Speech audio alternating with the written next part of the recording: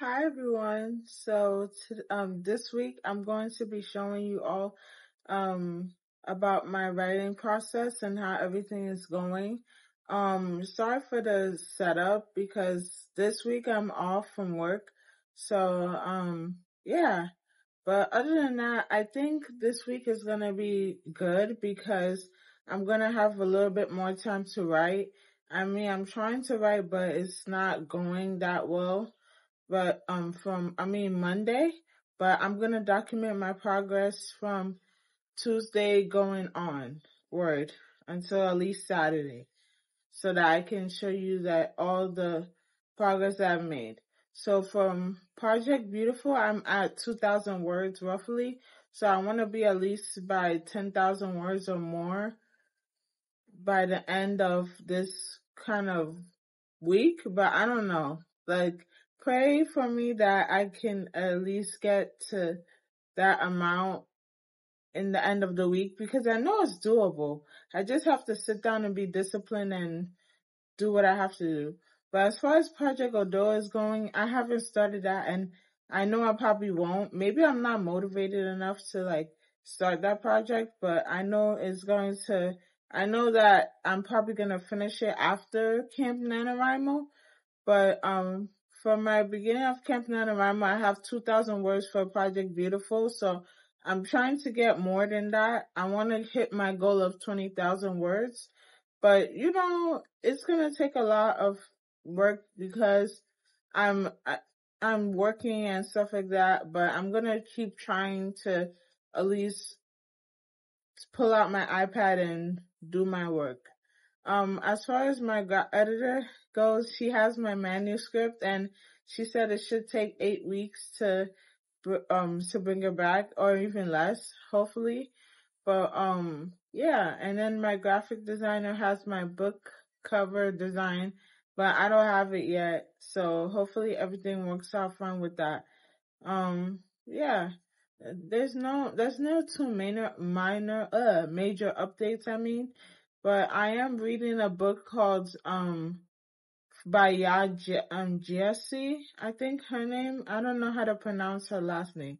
I know she's Ghanaian though, but um it's called Homegoing, and I know it follows two sisters who one gets sold into slavery and the other one gets to live a, um, a comfortable life. But um I'm gonna update you on that book as well and tell you how I like the book. So far, the book is good. I'm, I just have to say that it's, um, it's starting off good. Like the girl, Afia, she, is not really good for her because her mother, um, Baaba treats her not so nicely and doesn't really like, isn't the uh, most warming, warm, what's the word I want to say? Isn't the most empathetic mother towards Afia.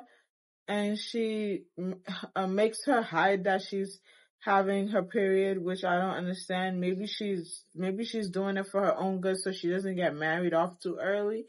But she's 15 and I don't know if, if that's customary for people at, in the 1700s to get married at 15. But, um, yeah, that, that happens and yeah. So, I don't know, but, um, I'm just hoping that the book gets better from here. So thank you all for watching my video and keep on watching it until the end. Hi everyone. So ho- hopefully everybody's doing well and fine. I just wanted to know what is your working space that you work in? Like when you write your books and stuff, what is the working space? Is it like on your dining room table or on your um bed in your bed that you type when you feel inspiration? Cuz for me I I find inspiration when um, randomly. Sometimes I'll just write on my phone app, on my phone notes app, and just start writing. But other times, like I I write in my on my dining room table. I know it's not the most aesthetically pleasing setup, but um, I try my best to like clear out everything that needs to be clear out from the table that I'm work the space that I'm working in, and I just try to write. So I don't know. And how do you guys get inspiration from your characters? Because I still want to know. Because for me, I just get random inspiration from experiences that I had in my life. and some uh, and then some experiences that other people might have had or some things that I magically just come up with in my head. So I just wanted to know um it's it's been a long challenge for me to like write. Is a not long a hard challenge for me to write because sometimes I find myself being discouraged and feeling like my writing is not the best or maybe nobody wants to read my stuff. But I'm going to keep on going and get over my fears of writing and get over myself and and put positive positivity in my life to tell myself like hey mary you can do this even if you think that you can't so yeah. Another thing i wanted to know is how do you find the um the names for the characters that you want to have in your book?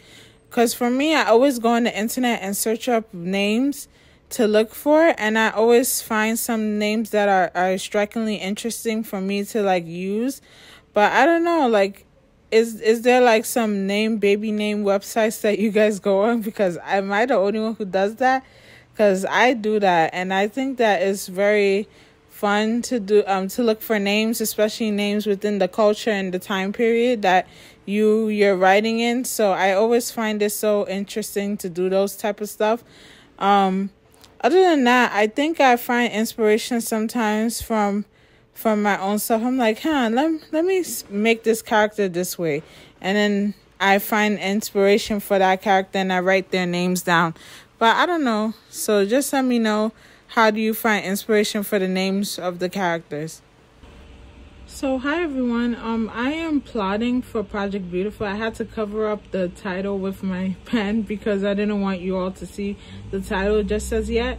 But um it's Project Beautiful, I'm trying to like plot down some of the scenes and in the book and see if I like it and want certain things changed around from the beginning. But um, other than that, I'm pretty fine.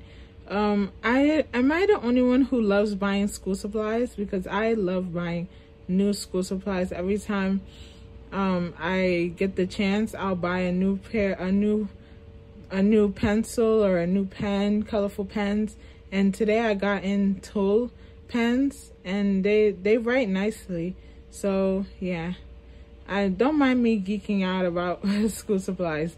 But um I really like um buying new stuff because it gives me more inspiration to write so I'm reading um Homegoing by Yaa Gyasi and this book is so sad for me like not sad but like it's it's really it's really telling how the mom Baaba is treating Afia and it's not it's not right. Like the mom wants her to hide that she has um her period from the people and then she doesn't want her to marry a, Bie- a Bieku, which I think his name is, but um I think that's really upsetting to me because like she shouldn't be treating her daughter that way and she wants to marry off her daughter to a white man. So I think this was her plan all along. So hi everyone. Um I'm just to update you on and tell you about if I if I did ended up getting 10,000 words in for my project Beautiful. But um the answer is no, I didn't. Um I'm still at 2,626 28 words. So that's still little, but I still have the whole month to get to 20,000. So I should try and do my best to get um, that amount in that time frame. But yeah, everything is gonna look well. I, I spent my time for the week off that I had relaxing and doing what I um, what I wanted to do. So hopefully next week or even today or tomorrow I can update you and let you know that I've at least gotten 1,000 words more or 2,000 words more. But other than that, um, I just wanted to let you know that I finished my um, book, Jar of Positivity. I finished going over it and looking for and getting more details from it so it can inspire me. And yeah, um, I've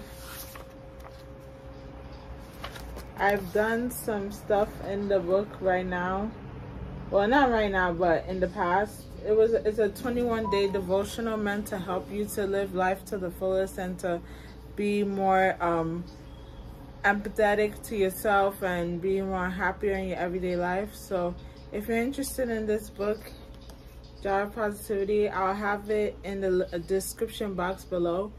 Um, it's only $3.99 for Kindle and I think it's better off that you get the paperback so you can write stuff inside the book and you can highlight and stuff like that. But other than that, everything is good.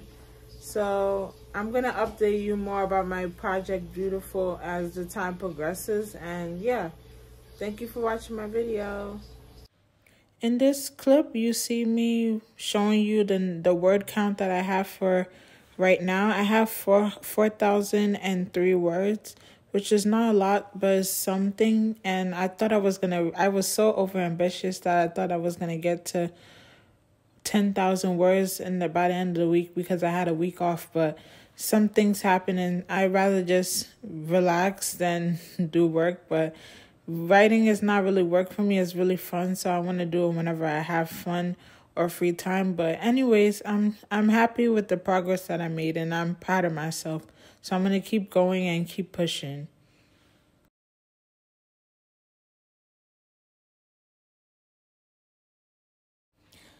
I just decided to show you all my hair about me styling my hair. I don't know if that's something that you want me to incorporate in my writing vlogs, me doing other stuff besides writing. But um I just wanted to show you my hair and how it looks. Um I think I did a good job and I think that is really nice. The style that I did it, I use. I'm gonna show you all the products that I use in the in the video, and hopefully you like it. Um, let me know what um products you use on your hair, and what things that you what what what products works good for your hair. My hair is type four hair.